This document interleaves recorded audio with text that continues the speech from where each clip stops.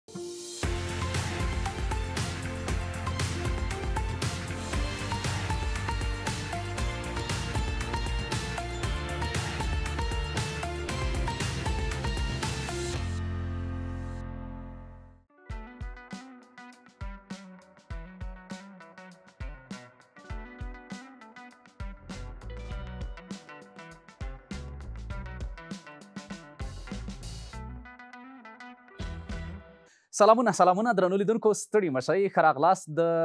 بنډار خپرونې ته زه خیبر الکوزی ستاسو چوپړ ته یو ځل بیا حاضر شوم او هیله ده چې تاسو هم راسره تر پای شیبو پورې ملتیا وکړئ او د نن شپې بنډار هم راسره په مینه باندې وګورئ یوازې نه یم بیا هم د تخنیکي همکارانو په ملتیا ستاسو چوپړ ته حاضر شوی یم خو بنډار کې بیا هم یو میلمه لرم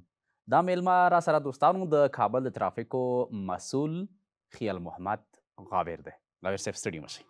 خیر اوسې خیبر صاحب تا ته ستاسو د اریانا تلویزیون کارکونکو ته او د اریانا تلویزیون له لارې خپل ټولو لیدونکو او اوریدونکو ته السلام علیکم ورحمت الله وبرکاتو علیکم السلام ورحمت الله وبرکاتو بندر به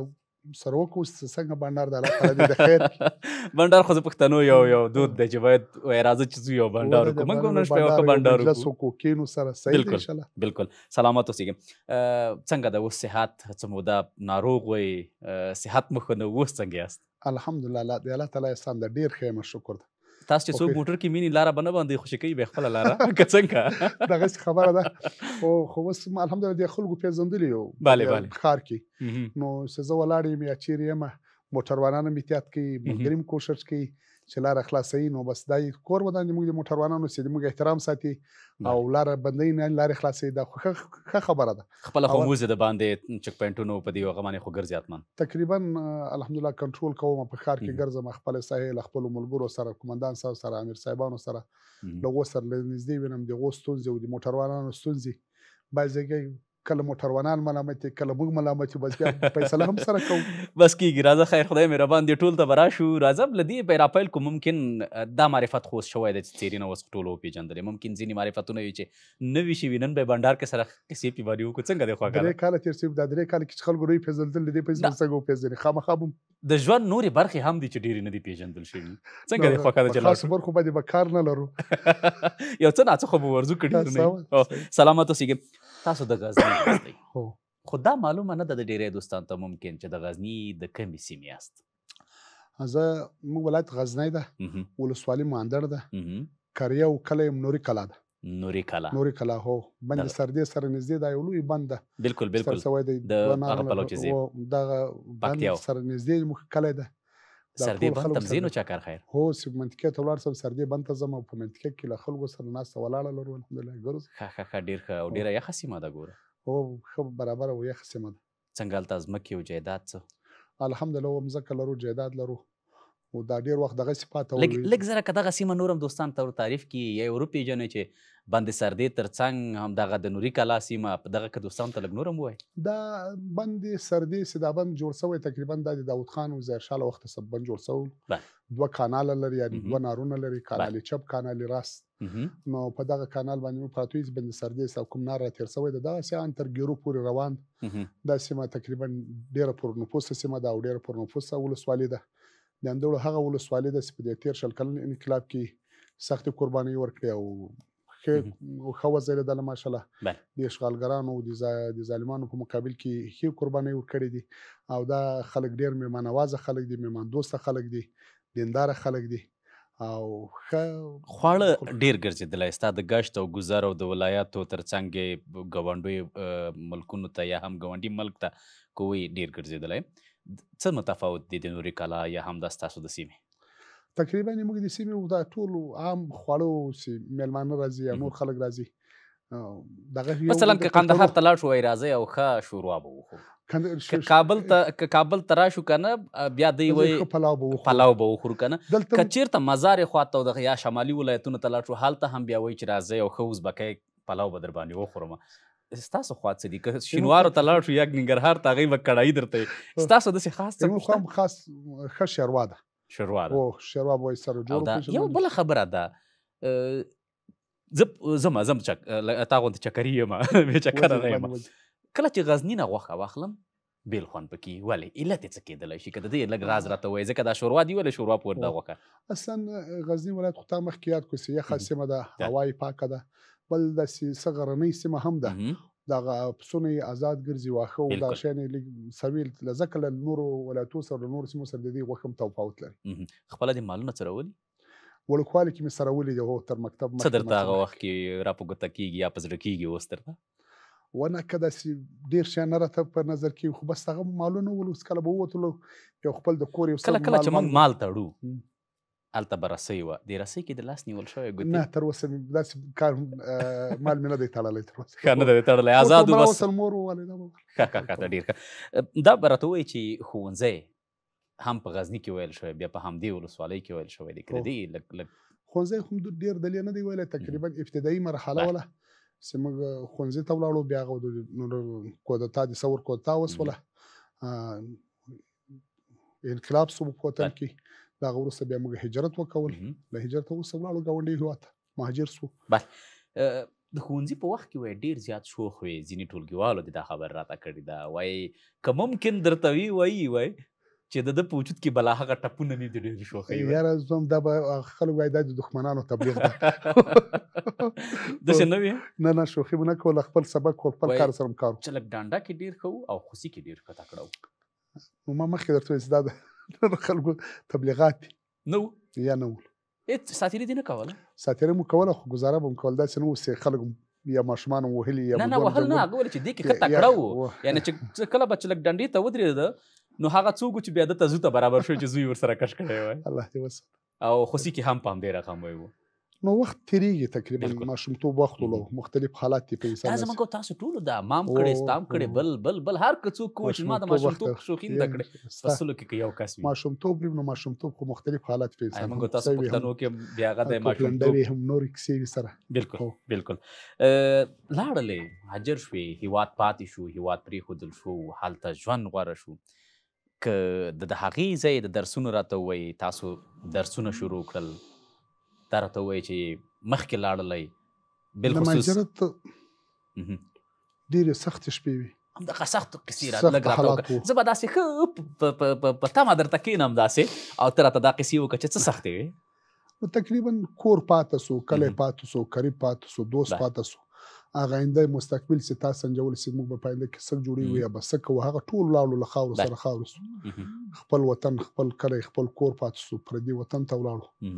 هلته چې ولاړو نه خپل کور وو نه خپل مځکه وه بله یو ځای او بل ځای په یو ښار او بل ښار کې موږ والد صاحب د خدای پاک وبښي الله دې رحم ورباندې وکړي نو اولې شپې ولې دا خلک چې کله پاکستان ته مهاجر سو کیمپونو ته ولاړو والد صاحب ولې چې زه کیمپ ته نه ځم خپل کاروبار کوم بیا مو والد صاحب خپل کاروبار شروع څو څه کار یې کول هوټل یې برابر کړ د هوټل کې د تجربه درلوده کار یې کول نو هغه هوټل سو دوی خپل کار کول زه مسجد ته او مدرسې ته ولېږلم سبقان ویل بیا دغه سره سره به کار هم سره کول تر ډیره وخت پورې نو ژوب و لورلای و سنځاوي بل اخر از موږ د ترزوی و یو چا په چاکو ول هغه شهید سو نو مزدوري ور سره کوله بیا دغه مشکلات و کیسې بیا ملغه ځای کډه وکوله بل ځای ته ولاړو والي صاحب سره بیا والي صاحب وفات سو سبقان بیا په ما بینس کې پاتې سو بیا کارونه څه وروسته مې بس بیا یو څو شپې تېرې سوې مشر ورور مې و الله تعالی دې وبخښي نیم له هغو سره مشوره وکوله چې زه نور خپل سبقان وایم بس خپل سبقانو ته مې توجه وکوله بیا تر کوم ځای لاړلې سبقان سبقان کې به الحمدلله لویه دوره کړې افتا مې کړې ده ډېر ښه ډېر مکمل د سربندي څه ورته وایي د سربندي او لوی دورې چې فارغ یم الحمدلله خلاص مکمل سبقان مې وویل ډېر ښه سلامت اوسېږي سختې هم راغلي دي لکه څنګه دی چې وویل تره زوی لاړ یا تره لاړ پلار لاړ ورور لاړ سړی اړ کېږي چې وایي په یو نوه نه په یو نوه ځان ته کار پیدا کوم او یا هم یو مړۍ روزي را پیدا کوم کومو سختو سره لاس او ګریوان شوی وي خو دا به له لږ دمې وروسته واورو څنګه دی خوښه استاد نو ځو لنډې دمې ته له دمې وروسته بېرته راګرځو د دې پوښتنې ځواب به راته بیا فاویر صاحب راکړي تاسو راسره پاتې شئ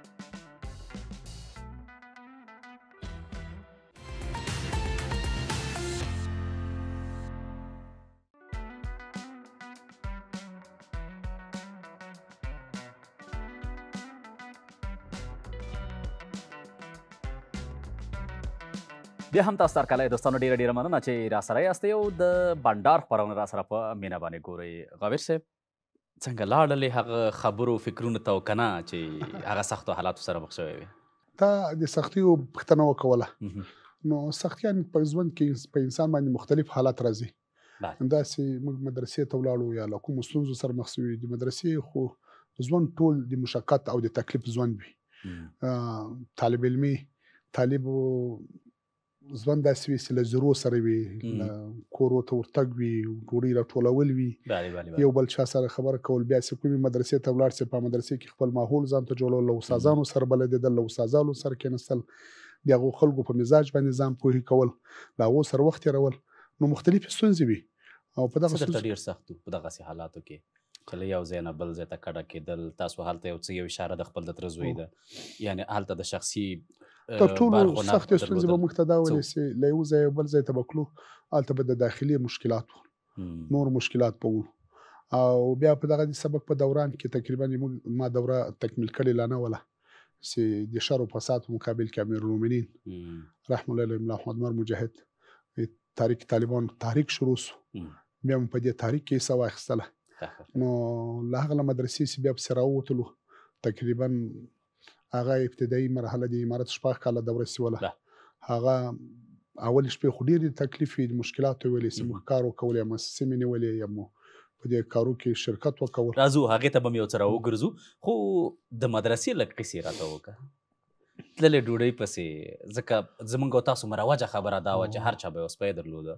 یا به یو بل ځناور په کور کې و چې وسد هغه د دې د خبرتیا لپاره تقریبا سیده په ډوډۍ پسې په کلو بازارو کې به ډوډۍ ټولوله داسې ډېر دکانو یا نانوایي وته به ورکلو یا به داسې کلي کې معلوم کورونه وه هغو ته به ورتللو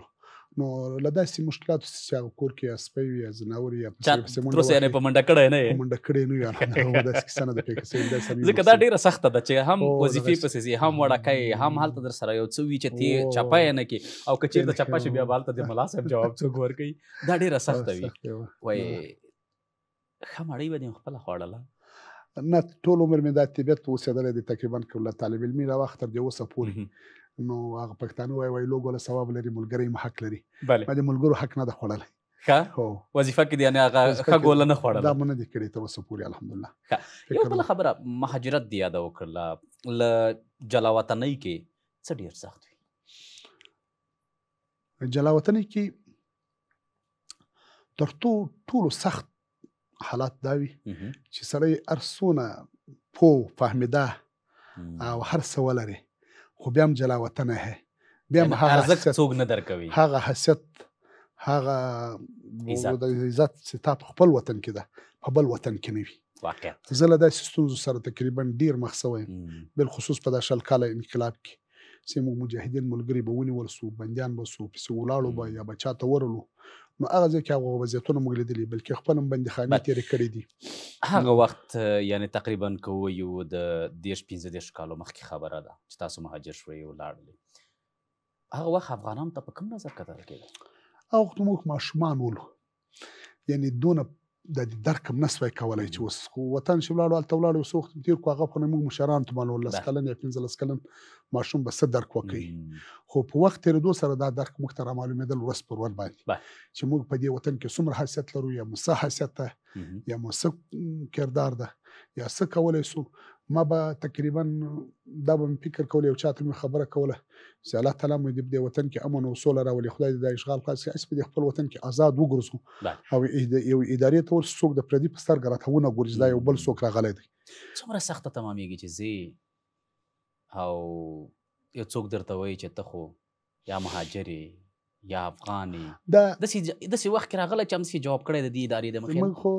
طالبان یو سبقان ویلي په دې هجرت په موږ فخر کول چې چا به راته ویل مهاجر موږ مهاجر رسول الله دی هجرت رسول الله صلی الله علیه وسلم کړی بالکل بیا مو هجرت موږ له کفر کړی ولو د اسلام او د دین د وطن د ازادي په خاطر هم کړی ولو یو سوچ فکر به ما سره خپل دا به فکر به پیدا کېدل ډیر به نه مایوس کېدل خو کله چې تاسو بغل ته بسوي یا بکینسي ولاړې بسي او ډیر ناچیز شته وو او دا خبرې به وکوله یقینا هغه احسانه او معلومات تیری سری باندې راځي ډیر سره مایوس کیږي او ډیر پریشان کیږي سره سره سره احساس وي حتی داسې وخت راغلی ده چې زخمیان مریضان ملګري په هسپتال کې راته پراته هغه راچې وړي دي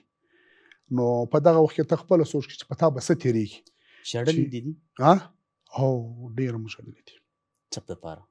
ها د کوم ستونزو له کابل دي جوړلې د خپل حالاتو دی وطن دی حالاتو د خپل مشرانو د خپل درپدریو د دې حالت سره کله تصور وکړي تقریبا لیک داسې فکر وکړي نو زما هغه زړه به ډیر سخت وي ډبره به وسي ونه ژاړي زموږ تاسو په وطن کې هغه ورسه اوس هم هغه حالت ته لاړ نه تقریبا سي کله د سي کور کې وای سم د سم د حالت وینم خپل ځان باندې کنټرول نسم کولای نه اوس هم هم لاړلی همدا شیبه هم تللی زه پوهیږم دا اوس هم ته ډیر سخت همغه حالات ته لاړلی ډیر سخت حالات تیر اسیو دا بیان په زبر دي شالو ډیر اسانه ده بالکل واقعیت ده ډیر اسانه زړه پټه خزانه ده نه لري پټه خزانه د خورا برسیره کوي دلې هر چاته هم نه دي ډیر سخت حالات زه په یو ځای کې بندي بندي بندي کوم وای چولم په یو کوټه کې په ډیره کوچنۍ کوټه کې چول زه یو بل ملګری و سر ملا داوت اخون خدای د شهادت قبول کی زه د په یو کوټه کې ول دا کوټه به ما دا فکر کول چې دا ور تیر لاندې بلې دونه به ګرمه وله په دې باوجود به موږ کله څه غوښتنه وکړو د موږ غوښتنه حتی اما شو غوښتنه د یو ګلاس اوبو غوښتنه موږ نه ده پرسوي دا چیرته دا د نږدې ګاونډي هیواد پاکستان کې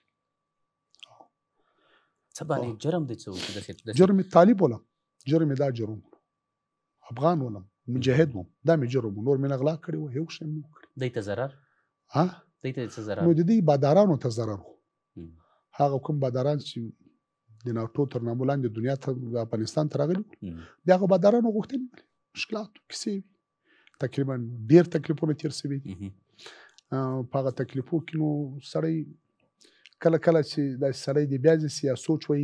د دې حالاتو زدا اوس موږ په کې واقع یو د موږ تصور هم نسوي کولای فکر به هم نسوي کولای چې به کله بحث پراغه سیمه به باسو کو سي الله تعالی به افغانستان ازادي الله تعالی به دغه حالات بدلی خلکو برا پوری خندل نو ما ورته ویلې چې الله تعالی د چا سعی او خواري عبس نه بیایي نه موږ دغه قرباني د امیر لومړین د اقدام دا مو د الله د دین په خاطر کړی د خپل وطن د ازادۍ په خاطر هم کړی که هر څو قرباني ورکو دا راته اسانه دي او په دغه ټول حالاتو کې په دغه خپل ټول حالاتو کې الحمدلله خپل درې زنو یاړولي ډیر ښه بریالی اوسېږي یو څه چې مهاجرت وخت دی ضرور خبره ده چې ممکن ډېری کسانو دا کړنه ترسره کړې وي خپل هویت دې پټ ساتلی چې زه افغان نه یم ځان سره خو به وې ځان خو دا خو هیڅ وخت کې نه کیږي یو ځای کې بند راغلی دا باندې څه هر سره به تاول چې زه افغان نه یم ځان دې نه سوای خلاصولی چې زه افغان نه یم موږ تاسو دا چهره شکل صورت کافه دغه نښانه ورګز د افغانۍ ده نو بیا په دې افغانیت باندې ما خپل فخر هم کړی ده چې زه طالب یم زه طالب یم زه مجاهد یم هیڅ خبر نه سکم دلار کې زه شهید سم بندي سم ووهل سم وټکول سم پروا یې هم نه لرم خو د ژوند له لږ نورو ترخو مې هم خبر کا ایا دا غاویر همداسې وو چې زه یې ځینو وظیفو یاده وکړم په تیر امارت کې دفاع وزارت کې تا دنده ترسره کړې ده هغه هم د دفاع وزارت د ساتونکو د دلګي یا د غونډ مشر پاتې شوی د تیمسکن د خدماتو مسول پاتې شوی یم که راشو د مالیې وزارت کې مالي رئیس پاتې شوی یې، همدا شان نورې مونې سه اوس د ترافیکو ریاست برخه یا د کابل د ترافیکو د مسول په توګه ونې تانده در سره کوي. پاور همدا دی که نورې سختې هم په ماشومتوب کې لیدلې دي یا یې هم څه خرڅ کړي، څه یې کړي، دوکانداري، پاتې وه د پلار نه هوټلداري، دا څه شوه؟ دغه داسې تیر امارت کې ما مختلف وظیفې اجرا کړې دي له پلار نه پاتې هوټل او کار دا روزګار دی مزدوري ده مختلف حالات په سړی راځي بالکل زه تقریبا سل مدرسې تاریخ سو له تاریخ بیا خدای پاک هرات فتح کو کابل فتح سو له کابل فتح ورسته د شمالي سیمو مزار محاصره د کندوز محاصرې په دې کې مم وخت تیر کړی محاصره سوی ما د جنرال مالک په وار باندې هو کندوز کې محاصره سوی لو خدای پاک را وستلی یو په مې کارم کړی ده نو کله چې امریکانو په افغانستان اشغال کوي بمبار شروع کوي په غول شپه هم موږ د کابل کې ولو تر کابل تر اخیر ورځې پورې چې کله کابل سقوط کول الله تعالی د شهادت قبول کړي د موږ تاسو ملي دفاع وزیر الحاج ملا عبید الله خون د موږ ملي دفاع وزیر وو له ده سره ولو یو ځای سره له کابل ولاړو بیا کندهار کې وو له کندهار داسې نو مختلف حالات رالو دی له دې وروسته چې کله موږ نور په افغانستان کې بیا گزاره سخته سوله په خپل کلی کې په خپل کور کې چې جاسوسان د امریکایانو خپل موږ تاسو افغانان تربرونه قریبان دی له لاسم شپې نه سوی تیرولې چار ورځ به کور ته ولاړو هر ورځ به دی له ته ولاړو هجرت سو سو بندیان سو له بندخانه را خلاص سو بیرته سي کله بیا هجرت سو کوک وطن پاته سو کور راوسلی حالت داسی ولو سی نور هیڅ شی نه ولو بیا می مزدوری کړی ده څه دی کړی تنور کې خپل ورور سره مزدوري کړې ده مې خپل تنور جوړ کړی دی خپل کاریګر را سره یعنی نانبای هو نو خپل ژوند چاري د خپل چا ته ویلې غابر صاحب وای د جمعې په ورځ به مسواکونه خرڅول دا د طالب علمي دوره اوس ما مخکې تاته ویل په سبقانو کې به ما دغه واقعیت ده کنه او دا واقعیت ته ما به داسې کول چې کله به د مسکنه کیسه ولا محتاجي او سوال فقر دا مې په ټول عمر نه دی کړی بس دا به وکړ مسواک مو راواخیستل نو بیا به مې وړل هغه به هم خرڅول خپله خرچه مې باندې برابروله دا د د کله چې مدرسه کې وې هغه مدرسه کې کوم هو هو دا کار مې کول جمعې پر شپه به تبلیغانو مرکز ته کلمه بس ورې به زینه دې ځان ته د بازار پیدا کړو بازار پیدا کړو جمعې شپه بس پنځشنبه بس رخصتي سوله جمعې شپه به قرار مسواکونه واخسل تبلیغي مرکز مخ ته به ورلو کې بنسل او مسواکونه به خرڅول الله تعالی دې تبلیغانو ته جزای خیر ورکي به به کوشش کوي چې د طالب شیان واخلي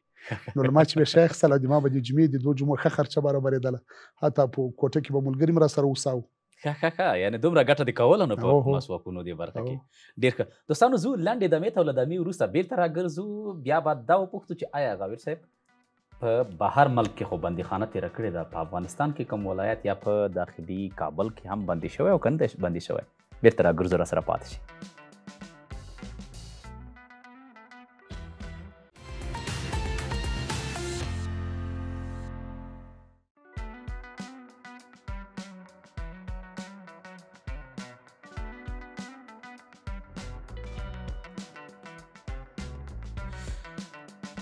بیا هم هر کله دوستانو هیله ده چې خبرونه تر دې دمه تاسو را سره کتلې وي او په مینه را سره پاتې شوي یاستئ نو غاویر صاحب څنګه د بهر بندیخانه خو دې راته ویلې په افغانستان کې هم بندي شوی که نه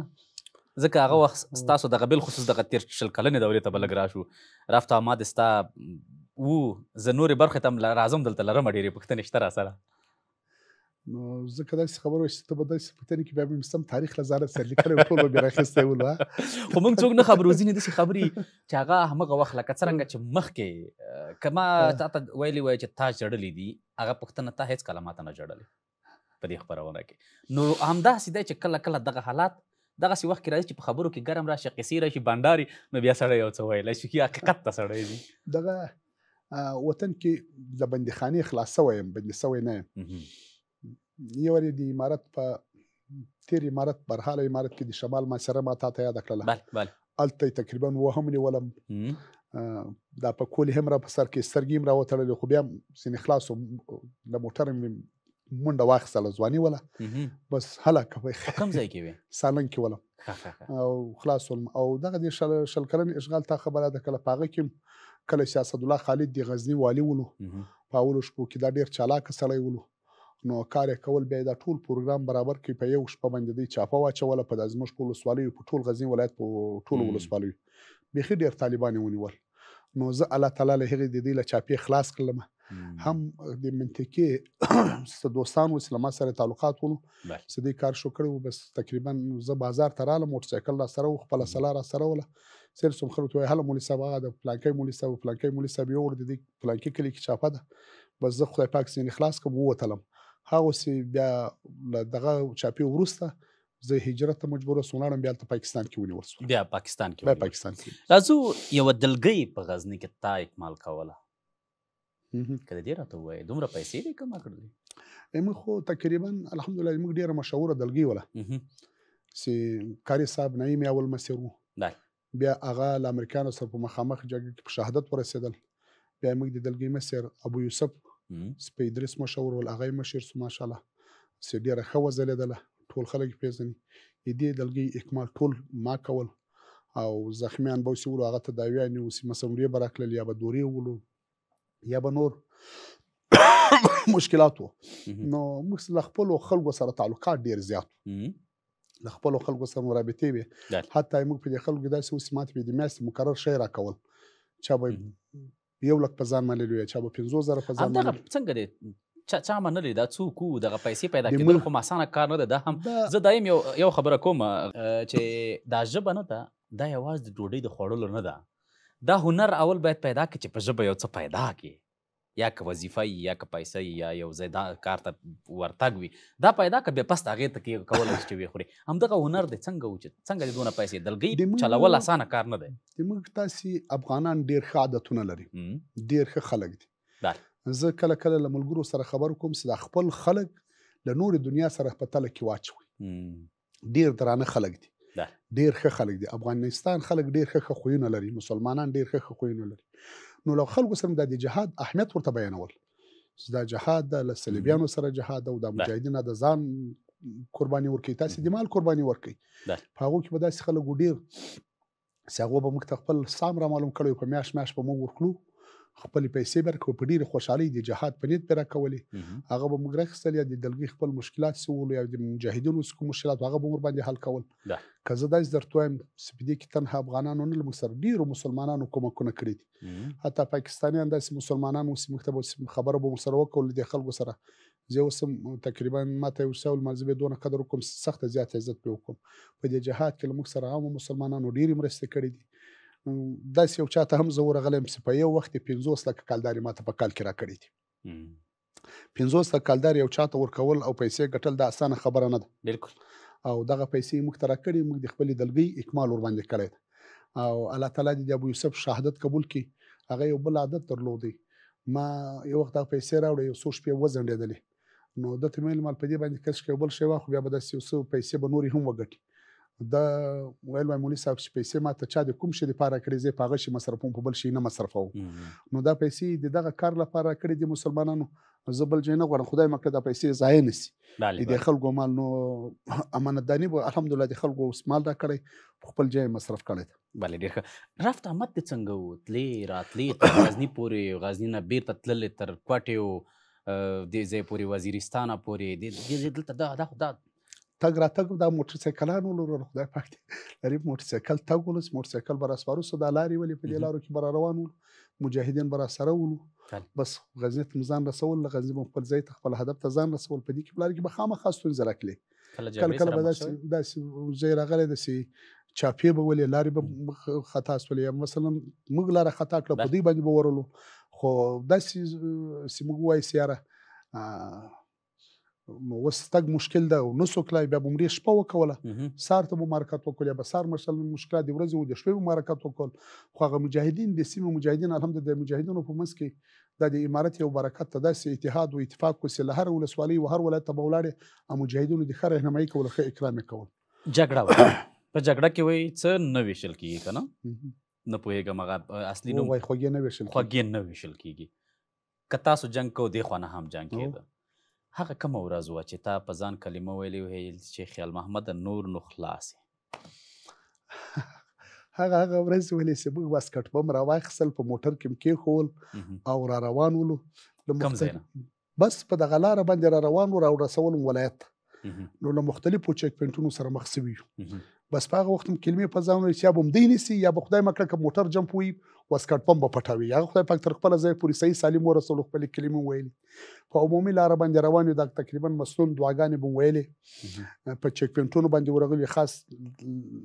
په کندهار ښار کې سه سخت چک پینټونو بو تلاشانې به ولې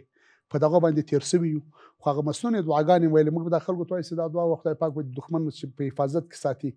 د خلک نه مني څوک دا بنو څنګه دعا وای خدا موږ عملا الحمدلله تجربه کړې دي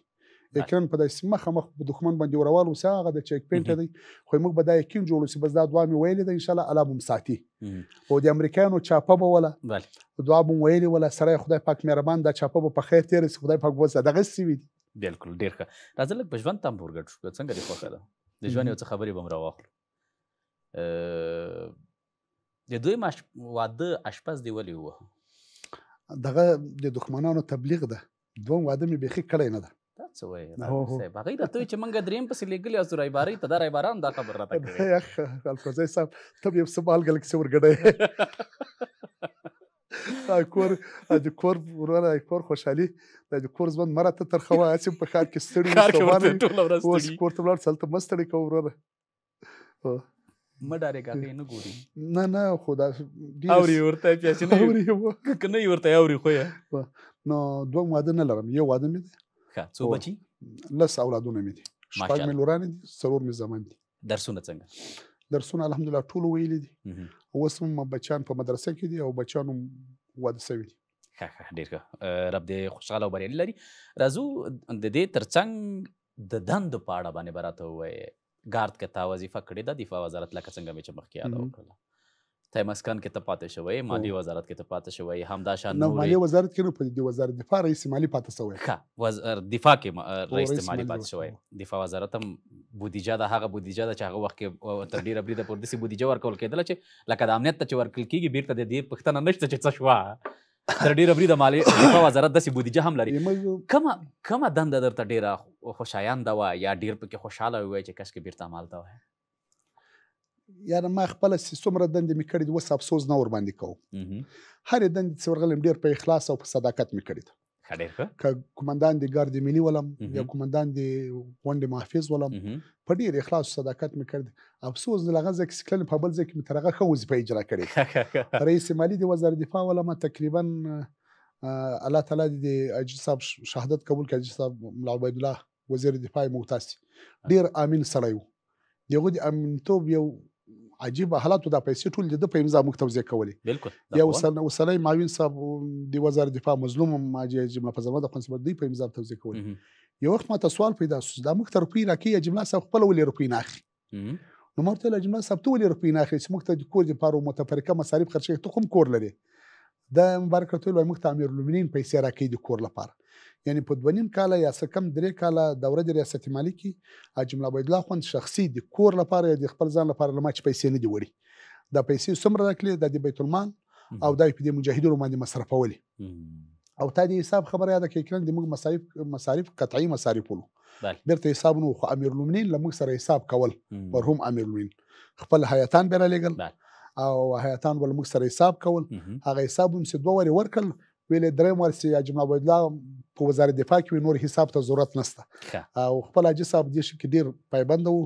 او له هر ملګری سره به حساب کول حتی چې سل لک روپی به هم ورکړ ورته ویل چې ګوره به ځای استعمال نکي بله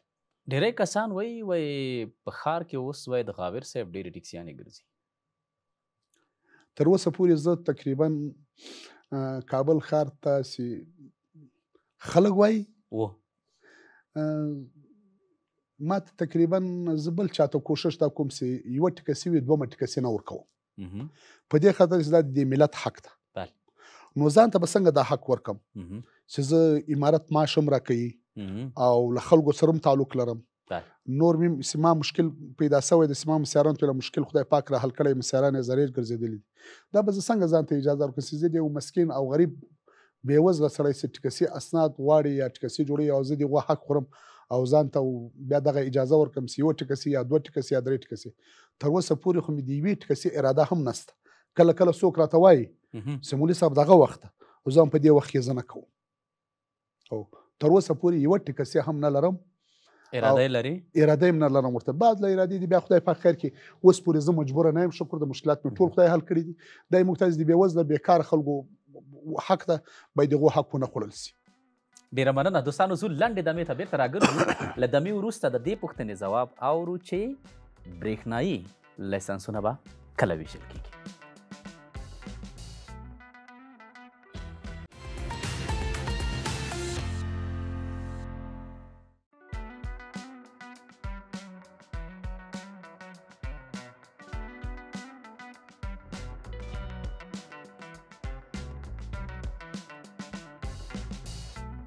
بیا هم هر کله دوستانو ډیره ډیره مننه چې خبرونه مو د پایل نه تر داسې بوره سره په مینه باندې وکتل او زموږ سره پاتې شوی یاستئ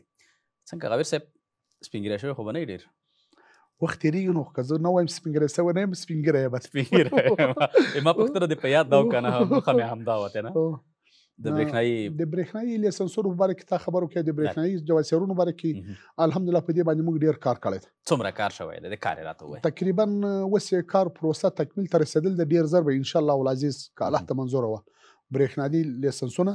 او برېښنايي جواسیرونه شروع کیږي د دې لپاره موږ ټول په هغه ترتیب هم برابر کړی د ریاست عمومي سره خبر شي کړی د ریاست عمومي لارې وزارت داخله ته خبر کړل ان شاء الله سي منظور سي که خدای کول ډیر زر بشو سي حتی هغه آسان خدمت شوبه سي هغه هم جوړ کړی تیار کړی تنها خالص وس ودی ته منتظر یو سي د ثبت احوال نفوس او د ریاست عمومي د دی کله راسي او ابتدای وکړي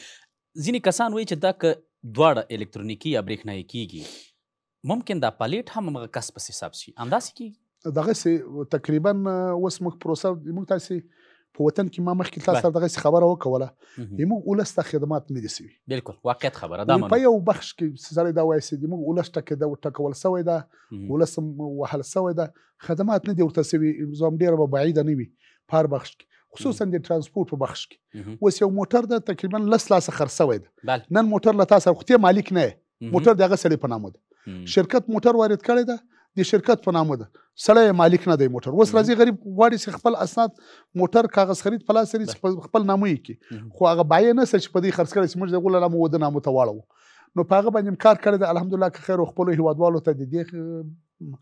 برنامې له لارې اطمینان ورکړو که الله ته منظور او ډیر زر به ان شاء الله دا حکم موږ ته راسي چې ټول موټرونه په هر شخص پسې چې موټر لري په هغو پسې به ثبت وي او له دې ډیرو ستونزو به نور هیوادوال خلاص شي یعنی پلیټ به که څوک موټر هم خرڅوي پلیټ به نشي خرڅولی ورسره د پلیټ خو جلا مثلا موټر کې خرڅول د ستی به انتقال ملکیت مثلا ما موټر دی د غویر صاحب موټر ده الکوزي صاحب ته به دستي په نامو وراړي داسې به نه وي چې د غویر صاحب په نامو به موټر وي الکوزي صاحب یې اخلي الکوزي صاحب سره بیا او نور ملګري اخلي انتقال د ملکیت پروسه به اسانه کیږي ډېر او د ښه. دې مسلمانانو مشکل به حل کیږي اوس د- هم خلک ډیر له ډیرو بله. ستونزو سره مخ دي او دغه پ- د برېښنايي هغه باندې که لږ نور هم رڼا واچه ډېری کسان زموږ نه پوښتنه کوي چې دا به څه وخت شروع شي د دې لسنسونو د پای نو د برېښنايي لسنسونو لپاره ما درته چې ټوله پروسه تکمیل شوې ده کار خلاص نو خبره کړل د اوس وزارت ته سي وزارت مقام کله منزور کی او څه ټیم راسي هغه نو که زه یعنی تاسو به خي چمتو استئ مو مکمل چمتو آماده یو د یو کیلومتر په اړه تراته وای د تمدید مساله ده نه ده ځکه ډیری کسان ډیری موټر چې وګورو ډیر نوی موټر دی د دې موټرو که د پرزا کېدلو ته لاړ شو بیا به هم ځای مناسبه نه وي که یې بندېدلو ته راشو زما په نظر باندې البته هم به مناسبه نه وي څه ورسره کوئ د دې سره ځکه ډیری ممکن یو کال کلمه چې پوښتنه وکړې ته بله چې د یو کلي موټرو باره کې ستاسو نظر څه ده ویم فکر څه ده د ترافیکو د موږ نظر خو مکمل منفي نظر ده ورته یو کلي موټر چې نن څومره حادثې د دې له لاسه کېږي څومره مشکلات پکې شوي هغه موږ ته رامعلومېږي بالکل واقعیت او نو موږ خو دغه خبره ده چې دا پلیټونه چې ورکول شوي دي دې ته باید د دې خورن تر اوسه موږ پلیټ نه دور کړی اوس یې پلیټ چاپیږي موږ کوو نو دا کېدای شي یو کال دوه کال ورته تمدید کو او د نوو موټرو لپاره موږ چې تر اوسه نظر غوښتل شوی د موږ منفي نظر ورکوو چې دا باید هیڅ صف نه شي نور دغه موټر که هر چا څوک واردوي په کوم ځای کې چې دوی مثلا بستکۍ او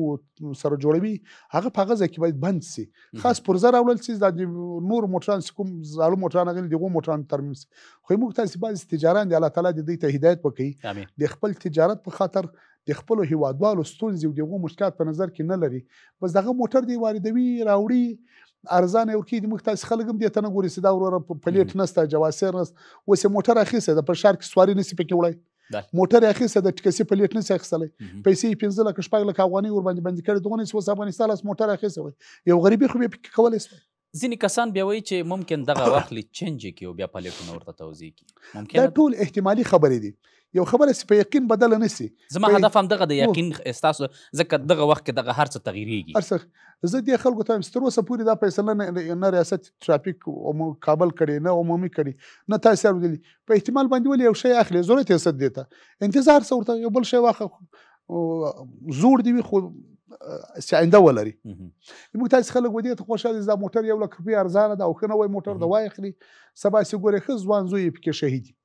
بل سي ګور روان و صبر اوس په ننګ کابل ننګرهار باندې چینج موټر خپل په لاس باندې چینج کړی دی موږ تاسو د صبر مچ په ملي تلویزیون کې پښتنه کوله ستاسو تر ټولو بد خبر یا د حادثې د خراش خبر کوم معلومات لمه پر روي همیشه سر ګورې د میپر له لارې چې وروره مرسلیش ټکر شوی ده درې کسان پکې شهیدان اته پکې زخمیان د واده موټر ټکر شوی چې بیا یې وګورې دا موټرونه دوی چینج کړي وي یا چې وګورې زیر سینا لیکان یا چې وګورې هغه قوانین د ترافیکو نه مراعات کوي نو ولې داسې موټران سره لیسانس لپاره مو قوانین څه لیسنس لپاره د مخ قوانین اوس هم ډیر ورته اسانه کړي دي خلکو بیا هغه ما اسانه کړي په دې خاطر دی ورته چې دا خلک هم قانوني سي عقلن و دې شوبې ته راسي د لیسنس واخلي قوانین چې د اتلس کاله تکمیل سوي وي نو نس کلنه یې شروع وي راځي پورما اخلي د صحت بخش ته ورځي ډاکټر یې وری ګوري چې دا تندرست دی هغه تایید کوي ویني ګروپ لیکي بیا راځي اداري لیسنس ته هغه یې اخلي بیا کورس ته معرفي کوي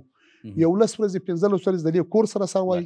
له نظري امتحان له کامیابېدو وروسته بیا موږ عملي امتحان ته لیږو چې عملي امتحان نظري او عملي امتحان کامیاب سي هغو ته موږ لایسنس ورکوو نو ځینې کسان دي دندې لري که دولت کې وګوري یا شخصي دفاترو کې ولري د دوی سره څه شته داسې چې مثلا هغوی ته لایسنس ورکول شي؟ داسې یوه خبر کوم یوه اداره هم سړی داسې نس کولای مراد په خامخا وي اوس موږ داسې بعضې هیوادوال دي له خارج راغلي د جرمني یا د خارج لایسنس لري دلته راځي او تورته یې ورسره پنځلس ورځې کورس وغیره غلي د پنځلس ورځو لپاره بالکل یله سو یا له دوبۍ راغلي وي یا مثلا د موږ مسیران ملګري وي هغه موټر چلولې زور لایسنس لري بله. یا مثلا که تاسو شخصي دفاتر یاد کړل دا شخصي کورسونه هم زدي لیسنسور وای او یا داسې مثلا د موږ تاسو قطاعتي ادارې لرو لاغو سره موږ بیا تعامل جوړ کړی دا هغه نه راغواړو دلې وري استادان ورلګم وري درس ورته وای وري نظری او عملی امتیاز نه خلو لیسنسونه ورکو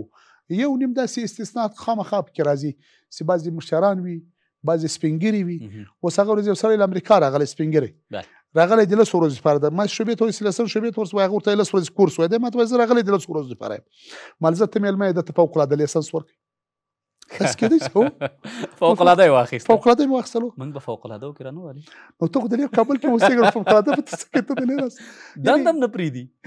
داسې یو خبره کوم همدلته هدف دغه دی چې لږ مې نور هم همدې دپاره ځان مثال ورکړه ځکه چې داسې شخصي دفترونو کې بیا کسان دي داسې څوک موږ په دې وطن کې که کار کوې ګزاره به کوې له خلکو سره څه واخله څه راکړه دا به یو خامخا لار چا څنګه اوس ځوانانو سره زه ډېر ټینګېږم چې ځوانان دي او سپینګیري سره زه د هغوی یقینا مراد ساتم داسې مسور په خلک راځي د هغو مراد ساتم ورته ګورم خلکو ته نو مڼې په شمار ویشو ګورو خلکو ته شناخته ډیر سلامات اوسېږي ډیر ډیر مننه چې را سره یو تر دا د خبرې اترې را درلودلې وای د کور د دندو راته ووایه چې په کور کې کومه دنده تر سره کوي نورې دندې خو تر سره شوې ځکه کور هم هغه څه دی بیل ماحول دی او زه دایم دا خبره کوم چې د کور ماحول باید د نورو څخه بیلي زه نه یم چې زه رئیس یم، زه وزیر یم، زه معین یم، زه څوک یم. که کور کې هم دا خبرې تر سره کړو ښه به نه وي؟ ستا دنده شته کور کې؟ کور کې خو زه دنده نه لرم تقریبا چې کور ته ولاړ سم ستړی یم بس هغه بچیان مې یا میلمسیان دي مثلا هغه سره باندې راټول سي او کوشش مې دا وي چې بچیان مې مدرسه کې دي چې هغه راغلي له هغو څه پوښتنه کوم بچی ورځ هم څنګه تېره کړه سبقان هم څه ویلي یا مو څه کړي دي یا نن ورځ مثلا تېره شوله داسې خاص ماشومان خو به قراره کول څه نه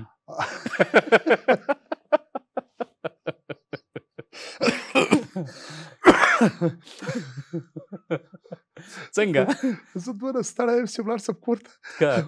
یقین وکړم که ماشومان ورته کړه چې ورځ یو چا هغه د ترافیکو پېښې کړي ولې نه ولو چې دی ویده یې شپېلک وایي زه هم چې اخر هغه شیان راسه جوړ نه سي ممکنه ده دا خبره ممکنه ده اشپزي کولی شي اشپزي خو نو ما سبق مخکې تا تول زه طالب یم سبقان مې ویلي دي مسافرۍ مې کړې دي او بیخي بیخي ښه اشپزي کولی شم خو په کور کې مې اشپزي نه ده کړې کور کې زما هدف همدا د کور دی چې کله کله داسې کېږي کور کې اشپزي ته نه یم کورنۍ چارو وزیر ویده وي بچیان ویده وي او ته وخت را پاڅېدلی یو څه دې تیار کړي چې راځئ چای وڅښو یاره داسې دایما خپل ماحول د کور داسې نه دي سوي چې زه را پاسېدلی یم او کور دې ماشومان دې ویده وي نه دي سوي الحمدلله داسې نه دي سوي داسې نه دي یعنې تی را جګ کړی دی یم خوب نه تفریح ته یې بیایې که نه تفریح ته بله تفریح ته زه خپل نه يم خلاص ماشومان به څنګه بوزم تفریح ته ته خپل سوچ وکړه چکرونه دې ګوره ډیر وهلي دي نه وکړي مې دي هغه جلا خبره هغه جلا وخت ټیکه وزه په داسې یو اداره کې چې جمعې پرز خلک تفریح ته ځي زلاري ورته خلاصو نو ماشومان به زه څنګه بوزم تا نه دا حق اخیستل شوی تی ولې اخلي خیر تا نه خو دا حق اخیستل شوی ده دندې اخیستی دی تی ولې اخلې تی نه نو الله تعالی ما ته بس دغسې ماحول د کور خدای راته برابر کړی ده چې دا تقاضا یې نه ده راته چې کړې چې موږ تفریح ته بوسه نو خو ته نه یې څنګه به یې وکړي څه ووایو تر اوسه نه ده شوې نه یې تللی ښه یو ځل به بېرته لږ زره دا یوه خبره به درته وکړم بله ما مخکې تا ته ویل چې موږ سخته ډېرې ستونزې تېرې کړې دي واقعیت ده زه یو څه دا یوه خبره د تفریح خبره تا یاده کړله چې تفریح ته ځې څه به وړې څه به کوې او څه به وي نو هغه شیان موږ نه لرو لکه نو ستر نو تفریح ته نسو کړی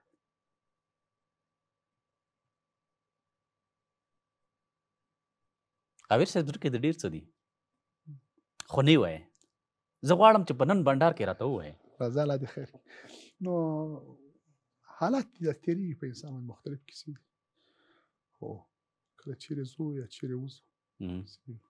سلامت مننه نور دې نه پازابوم ځکه دا دا برخه هغه څه ده چې ممکن ډیر څه وي په زړه کې خو سړی د ځینو ستونزو له کبله یا د ځینو هغه نه نشي ویلی وخت هم د خپرونې ډیر کم دی د باقیدارې موټرو په اړه باندې به بېرته راوګرځو اوس هم باقی دار یو ځل معاف شو اوس هم معاف ده کنه نه تر اوسه پورې هغه یو ځل خو تمام سل هغه چې کوم موږ تاسو هیوادوالو یې خپل استفاده وکوله بعضی خلکو پکې